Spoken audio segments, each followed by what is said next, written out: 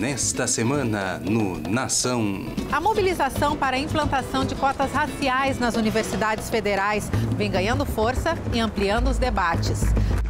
Conversamos com pessoas que estão nessa batalha desde o início e comprovam que a luta vem trazendo mudanças ao cenário acadêmico em todo o país. Eu lembro quando eu passei no vestibular, só entrar na faculdade já era algo muito significativo.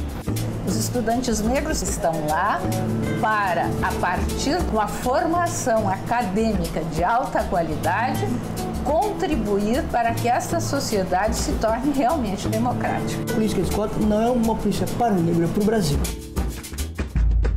Nação, quarta, nove da noite.